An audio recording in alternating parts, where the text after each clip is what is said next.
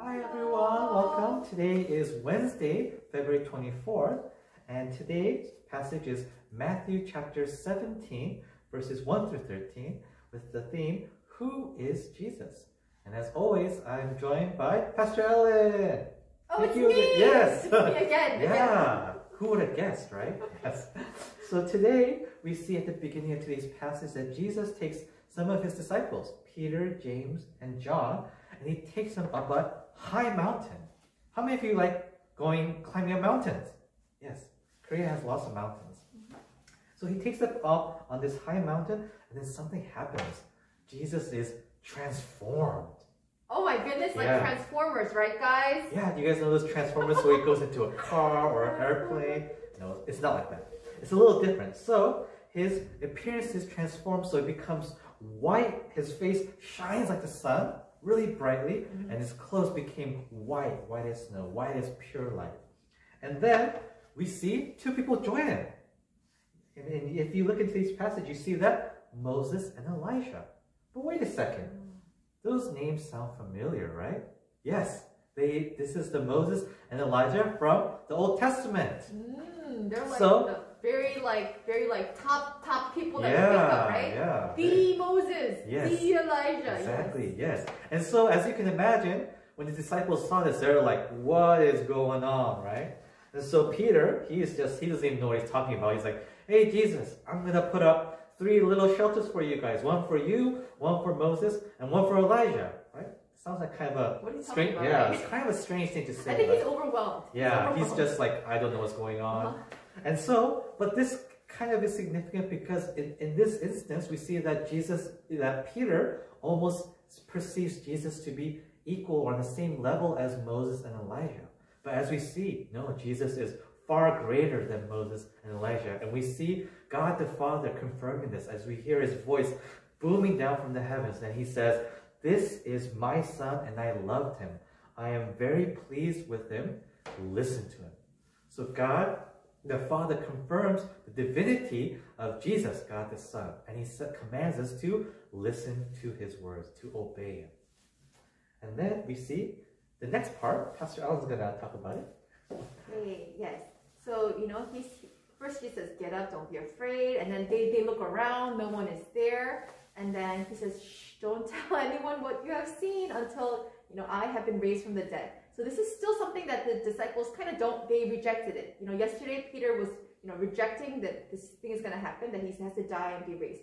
Okay, now the disciples ask Jesus a question, which is, why do the teachers of the law say that Elijah must come first? Okay, Elijah must come first. And then Jesus is saying, you know, Elijah came, but they didn't recognize him. So, you know, Elijah, you know, he came, he, they didn't recognize him as who he was. Elijah had a very, I think, a lonely life, you know. He had a lonely life, and he's a prophet. So he's being God's mouthpiece. He's speaking God's word, but sometimes people don't want to hear it, right? So he said things they don't want to hear. You know, they, they're not ready to receive it, so they rejected him.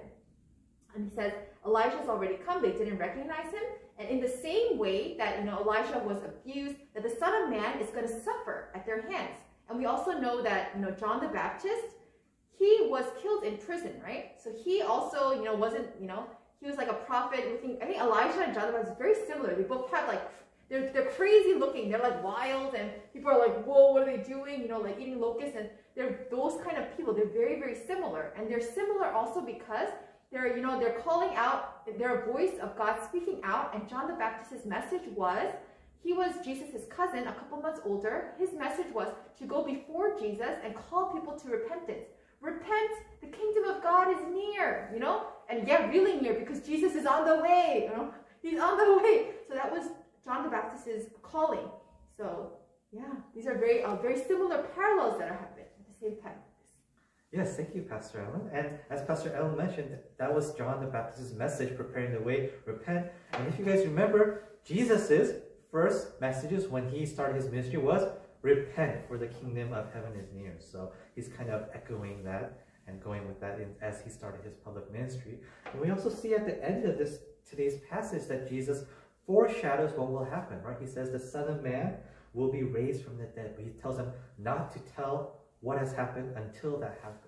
So we see just how all throughout the Bible, God has been making everything come to fruition. He is keeping his word. The prophecies are being fulfilled, and they all culminate here with what Jesus will do for us, where he dies on the cross for our sins, and then he rises from the grave three days later to show that he has defeated sin and death, so that now we, as his followers and his believers, can also overcome sin and death through his victory on the cross. So let's, with that, let's close in prayer. Father, we thank you for your word. And we thank you that you sent your one and only Son, Jesus, to die for our sins. We thank you that from the very beginning, that all your words and all your promises, all the prophecies that you spoke through your servants, they came true and were fulfilled in Jesus, your Son. We pray that we never take this for granted, but we are always thankful for this great sacrifice, Lord. And we know that we can always have faith and trust in you, knowing that you keep your promises, that your word and your love never fails us. May we continue to live lives in obedience to your Son Jesus and his teachings. May we truly live for him, and that no, no matter what happens, that we will continue to hold firm and strong to your teaching through your word.